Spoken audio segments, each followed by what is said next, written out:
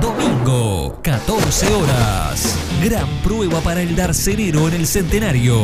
a reponer pilas, a descansar y bueno, ya pensar en el Nacional, que bueno, que sabemos lo que es y lo que nos, y lo que nos jugamos. ¿no? El tricolor quiere revertir el mal resultado A nadie le gusta perder, pero bueno, el esfuerzo tuvo y hoy no, no tuvo el resultado. y volver a la senda del triunfo. Torneo Apertura, River Plate Nacional, domingo 14 horas en vivo por BTV. Presenta Coca-Cola y Antel.